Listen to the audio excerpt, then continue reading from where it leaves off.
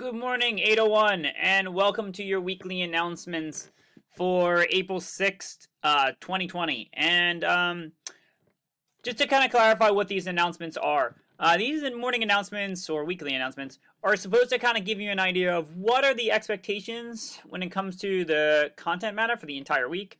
Um, and really, what is our main educational focus for the week in general? So, as you guys know from last week, uh, we've been learning about World War One. Um, last week we learned about the warfare of World War One.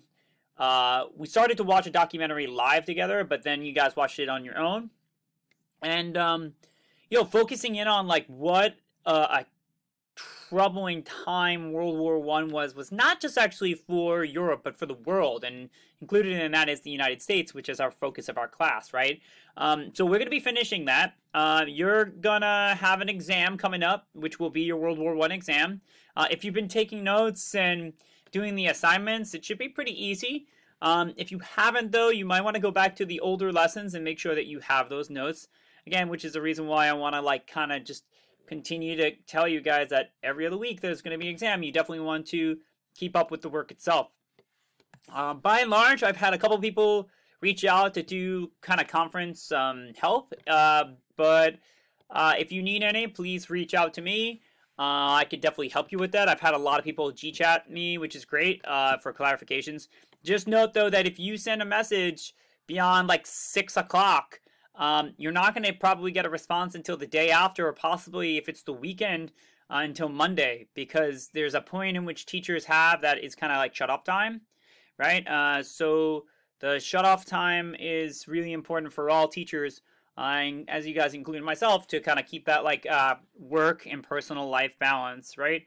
Um, but keep up with the work. You guys doing a really great job. Uh, this week again, we finished World War One. How did World War One end? What is the policy is actually that end this entire terrible war?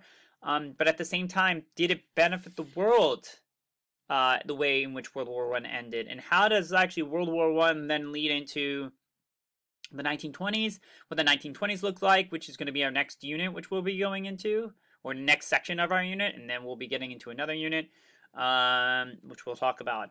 Uh, but continue to uh, work hard um, and uh, be safe, uh, without a doubt. Uh, you may notice that my background also is a little different from here on out. Um, not getting actually too deep into it, uh, I was required to leave where I was living. Um, so I'm actually in definitely in a safe place, definitely healthy. but it's super important that like you know that I'm kind of clarifying the reason why you might see some changes. All right. Um, so anyways, have a great week, guys. Be healthy, be safe, be awesome, uh, and continue to push yourselves, all right? Bye, everybody.